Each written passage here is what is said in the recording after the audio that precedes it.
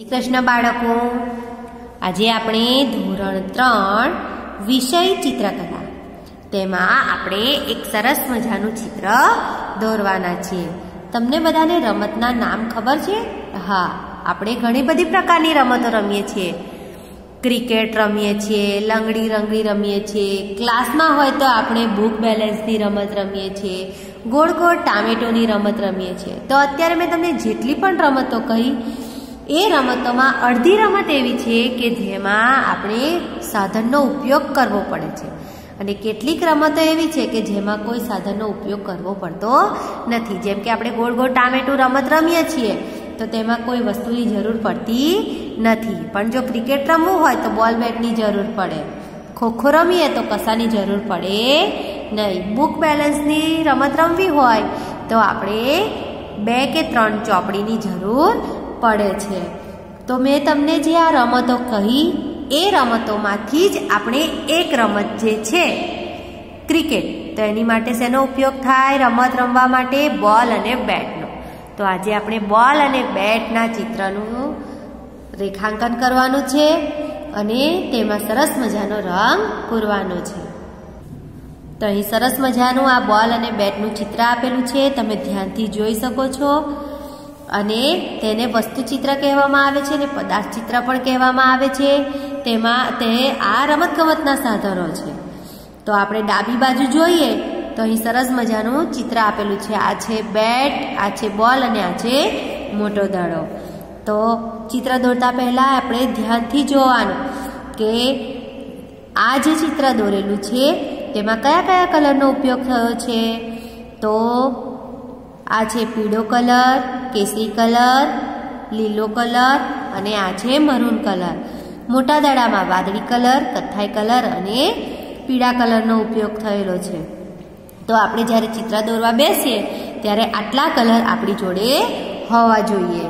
અને આના સિવાય પણ બીજા કલર તમે જ્યાં જમણી બાજુની સાઈડ જે ચિત્ર દોરવાનું છે, તેમાં તમે આના સિવાય બીજા કલરનો પણ ઉપયોગ કરી શકો છો. તેમાં પેન્સિલ કલરનો કે પેસ્ટલ કલરનો પણ ઉપયોગ કરી શકો છો. તો આપણે ચિત્ર દોરવા માટે સૌથી પહેલાં શું કરવું પડશે? તો એક સ્કેલની જરૂર પડશે. સ્કેલ એટલે કે ફૂટપટ્ટી. તો ફૂટપટ્ટી મૂકી અને અહીં જે રીતે આપેલું છે, એ રીતે આપણે દોરવાનું છે. અંદર તમને ડોટ આપેલા જ છે, તો તમારે પણ આ રીતે ડોટ ઉપર સ્કેલનો ઉપયોગ કરી અને દોરવાનું છે. ત્યારબાદ આ રીતે સરસ રીતે ધીમેથી વર્તુળ કરવાનું છે અર્ધવર્તુળ આ છે બોલનું ચિત્ર. તો એની પણ પણ સરસ રીતે ગોળ કરવાનું છે.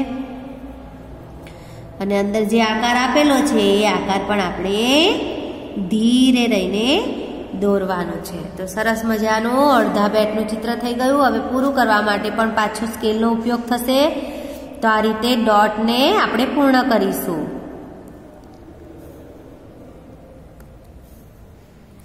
આ રીતે સરસ મજાનું ચિત્ર બની જશે.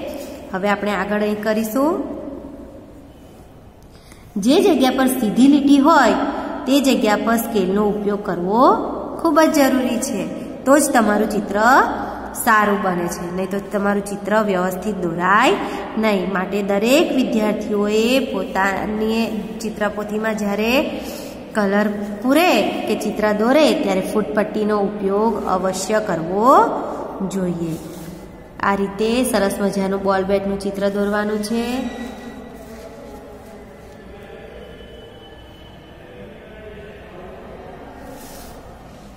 એ જ રીતે હવે અહીં બોલ આપેલો છે, તો બોલમાં પણ આ રીતે જે ડોટ આપેલા છે તેની ફરતે જ પેન્સિલ ફરવી જોઈએ અને સરસ મજાનું ચિત્ર દોરવાનું છે.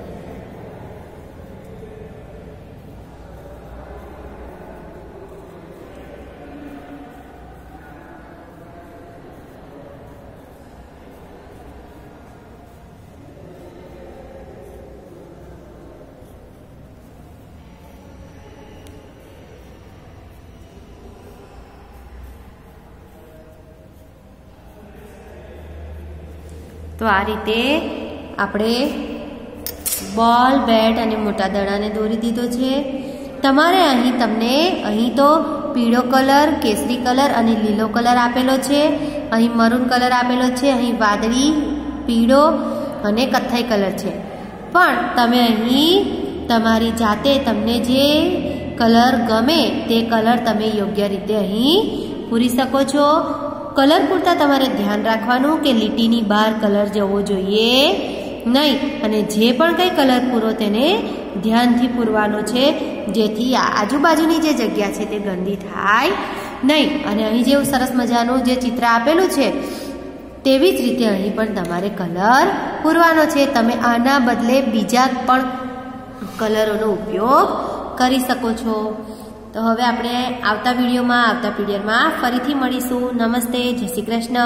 તમારે આ ચિત્ર પોતાની ચિત્રપોથીમાં દોરવાનું છે અને પોતાની નોટમાં પણ દોરવાનું છે અને રંગ પૂરવાના છે.